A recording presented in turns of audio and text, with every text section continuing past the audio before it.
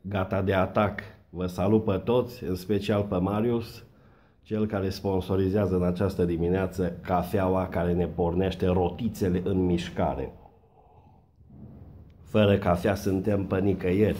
Suntem ca Bianca Drăgușanu cu Alex Body. Ați văzut, ați aflat, ați auzit, iară s-au certat, iară s-au despărțit. A 324 oară s-au despărțit până joi vineri să împacă. De ce? Că-i dus Alex Bod din Germania, îi aduce o poșetuță și să împacă. Mă, așa să ceartă cuplul ăsta, parcă ar fi USR cu plusul. Că și aia numai conflicte între ei, să nu mai vorbesc de USR plus cu PNL-ul.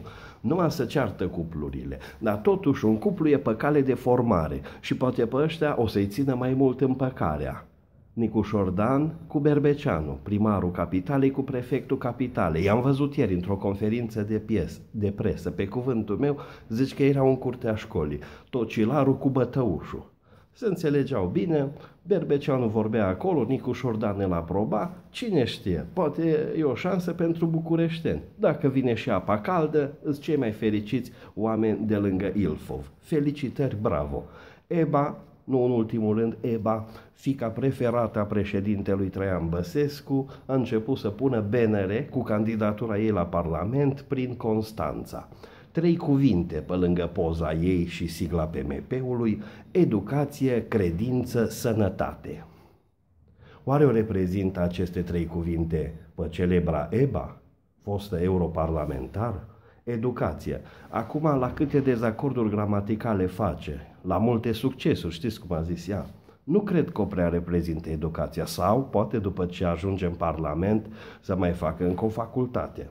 Credință. Hmm, credință are, poate are credință în orice, numai în instituția căzniciei, nu că deja are două divorțuri la activ. Cât despre ultima parte a sloganului, deci educație, credință, sănătate, ăsta l-a luat de la taică -so. Educație, credință, sănătate. Știți când ciocnește el paharul? Sănătate îi dorim și domnului ministru al economiei, domnul Popăscu. Nu prea apare el pe la televizor, infectat cu guvide. A dat și ministrul economiei guvidele. Eu i-am zis, bă, nu fă economie de la dezinfectanți, nu fă economie de la măști, nu fă economie, dar el, Batman, Batman, a făcut economie și uitați-vă ce-a pățit. Chiar ieri, luni, a fost uh, depistat pozitiv.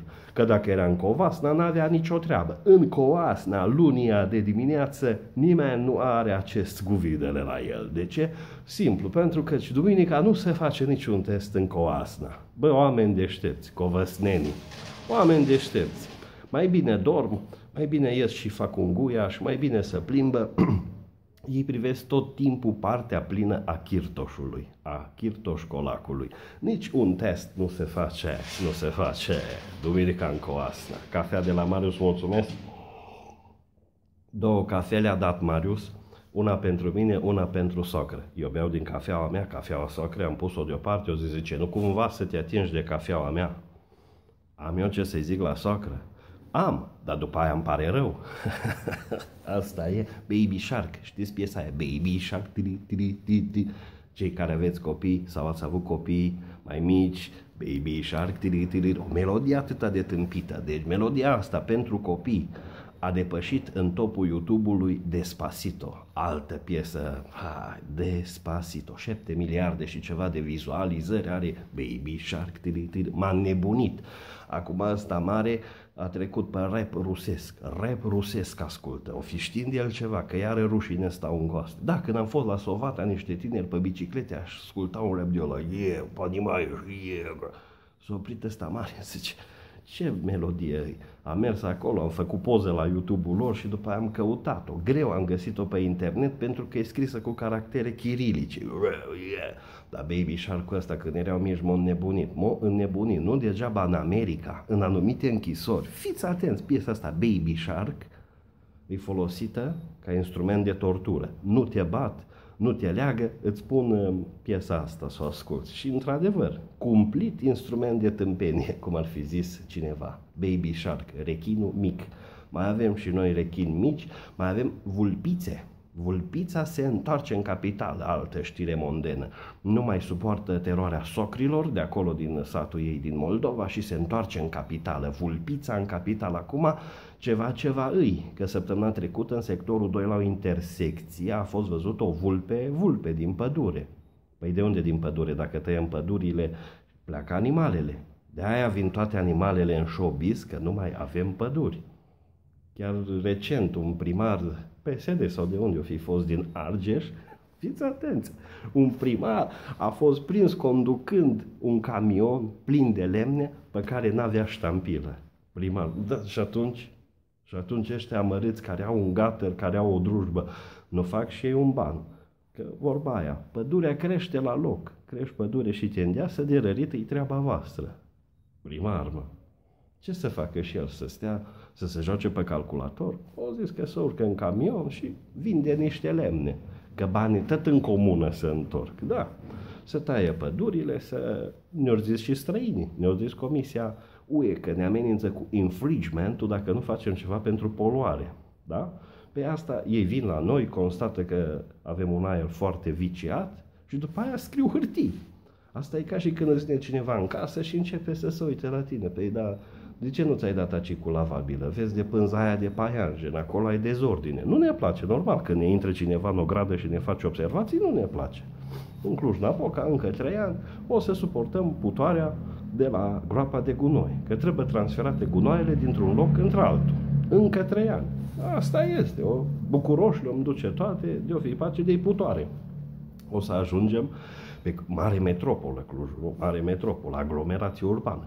O să ajungem și noi, ca japonezii, să ne luăm uh, niște ozon, niște aer curat de pe la dozatoare de astea, de la aparate. Că ideea este, trei orădeni au îmbuteliat aer de munte, aer curat de munte.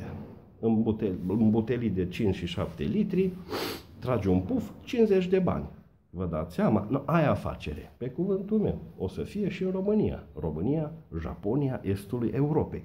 Nu numai că e aer curat, aer cu mult ozon, dar poți să ai și aer cu uleiuri esențiale. Uh, de palmier, de cocos. Cam pădurile noastre, portocal, lămâi. Poate o să fac o versiune pentru ardeleni și cu uleiuri esențiale de fasole cu ciolan, de sarmale cu caltaboș și așa mai departe. Un leu pe puf. Tragi aer din butelie și stai cu franzela în mână și mănânci și te oxigenezi. Vai de capul nostru. Ce ziceți de America? Mersi Marius de cafeluță, buy me a coffee slash Nicu Bendea. Mulțumesc anticipat. Ce ziceți? Că astăzi e ziua decisivă. Biden sau Trump?